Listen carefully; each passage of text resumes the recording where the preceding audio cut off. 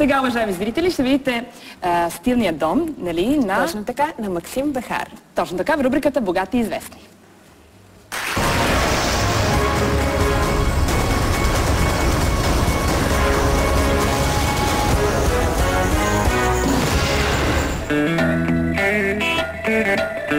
Станция нова.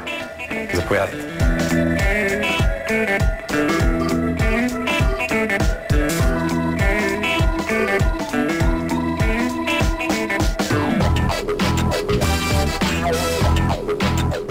Добре сте ни дошли да ви представя съпругата ми, Мила.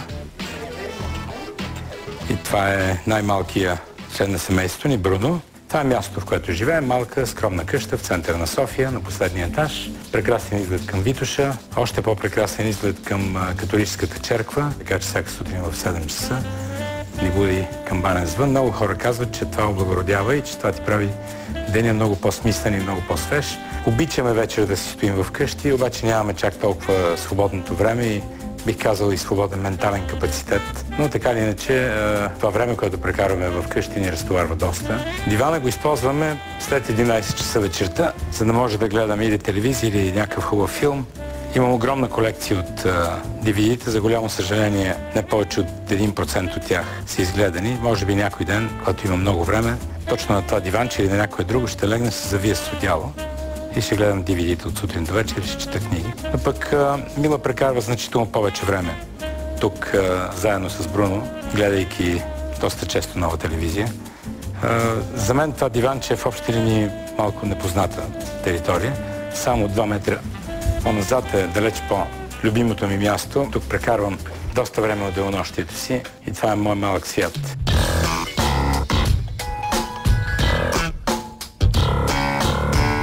най-ценните ми неща винаги са край мене няколко книги, които са свързани с професията ми. Книгата, която издадах преди около 3-4 месеца и която вече се продаде, така че имам един екземпляр тук на бюрото си. На началната страница ми е Фейсбук, тъй като както още 320 милиона души по целия свят съм доста привързан към Фейсбук и там си върша голяма част от работа. Тук има една много интересна история, свързана с тази количка. През 63-та година майка ми ме качи на един кораб и отидахме с нея в Израел. И когато Стръгвахме, Войчо ми ме попита какво искаш да ти купя. Аз му казах, искам кола. Имаше ни такива коли с дистанционно управление. Тогава майка ми се намеси и каза, не, не, не, купи му половер. Няма да му купуваш кола. В България е студено, купи му половер. И за голямо, голямо разочарование Войчо ми наистина ми купи половер, не ми купи кола. Преди 4 или 5 години Войчо ми да е жив и здрав, пристигна в България за първи път. След 50 и кусор години за първи път дойде в България. И стояхме тук една вечер и аз му разказах тази случка. И той излезе някъде и вечерта се върне и ми донесе тази кола. Ми каза, знаеш, след толкова години, 50 и колко години, ето ти колата, подарявам ти И от тогава това е страхотен символ. Стои просто тук и това е колата от моя Войчо. Всеки един от тези предмети тук е, е свързан с е, нещо, което съм минал, нещо, което съм преживял.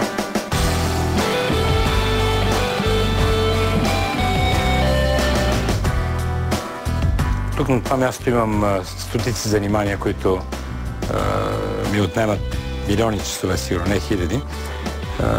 голяма част от тях са свързани с това, което на български се нарича джаджи, на английски гаджетс. обичам всякакви гаджет, защото те правят живота ми по-добър, по-бърз, по-интересен. Чакайте да видя дали имам някоя съвсем нова джаджа.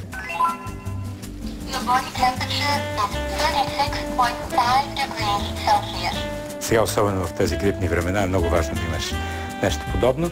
Ето какво правят тези очила. Свързваш ги с а, iPod, може да ги свържеш с а, телефон. Това, което аз съм си заредил е, е последния концерт на Green Day, една от любимите ми групи. И всъщност целият този концерт се пренася в тези очила.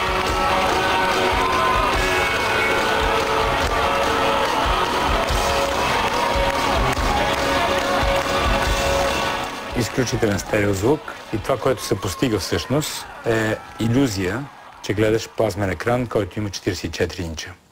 Много обичам вечер да си отворя ето този прозорец, откъдето се вижда прекрасно Витоша, феноменална гледка и това съчетание с купола на католическата черква много ме успокоява. И София е един много хубав град. Може би след родния си град Шумен обичам най-много София, въпреки че съм обиколил много пъти света. Ще се очудите, че има само единствено три картини в къщи. Имаме далеч повече на различни места, но решихме, че тук се заслужава наистина само три от тях да, да останат. Историята на тази картина е много интересна. Рисувана 1902 година, пристигна при мен полуразрушена, тъй като играх с нея много дълго на търг в Чикаго и надавах по интернет. Интересното на тази картина е, че художника се казва Ели Максим Бехар. Много добър френски художник. Умира година или две след като рисува тази картина и тя се казва Цветният свят на Бехар. Разбира се, че Бехар по света има толкова много, може би милиони, но това, че съвпада името, Максим Бехар е, е символ, който ми се стори много интересен. Другата картина е много много добро нещо на Светин Русев, който ни подари приятели на Тимур Кеворкян, когато ние се нанесехме в тази къща. А това е един прекрасен Чарли Чаплин от Ставри Калинов. Много си го обичам, Ставри ми го подари на рождения ден. Един прекрасен рожден ден, когато аз станах на 40 години. На поканите си за рождения ден имаше само едно единствено изречение и то беше живота започва на 40. Всъщност тогава стартирах и бизнеса си. И от тогава вече 14 години, всяка сутрин излизам в 8 часа, отивам си в офиса, връщам се вечер, пиеме ракия с мил или водки или узо.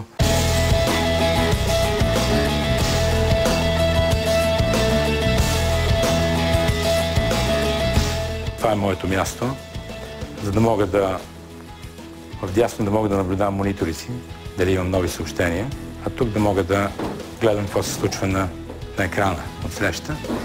Час, час и половина в общи линии минава нашия най- задушевен вечерен живот или всичките ни срещи. Казваме си каквото има да си кажем. Неизменно с ракия, неизменно с хубаво, сега вече червено вино, въпреки че Мила все още залита към розето. Обичам прекрасните салати, които Мила приготвя. Обичам страшно много нещата, които тя прави вечер и вече 25 години сме заедно. Не си спомням вечер да сме имали по-малко три салати, не си спомням вечер да сме имали на масата нещо, което да не ми е било вкусно. И това не е само привързаността за тези 25 години, това е отношението на Мила към готвенето. Ще ви покажа там, където живеят децата ни, където живеем ние с Мила.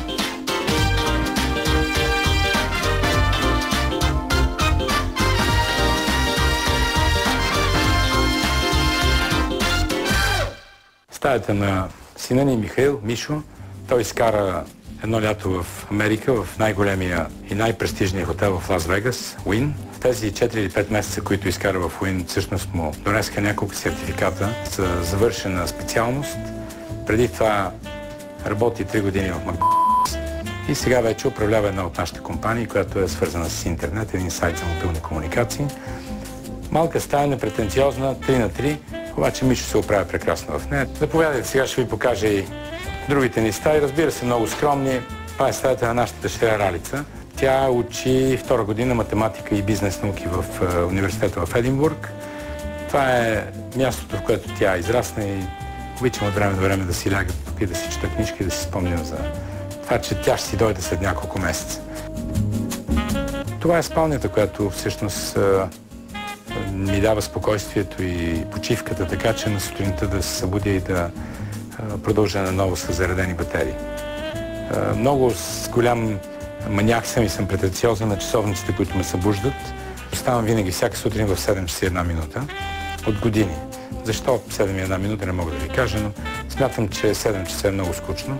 Така както и написах тези 111 правила в книгата си във Фейсбук, не бяха 100, защото 100 реших, че е изключително скучно число, написах 111 тъй като в модерния свят смятам, че един човек трябва да се доказва три пъти, че е номер едно. Един път вече не стига.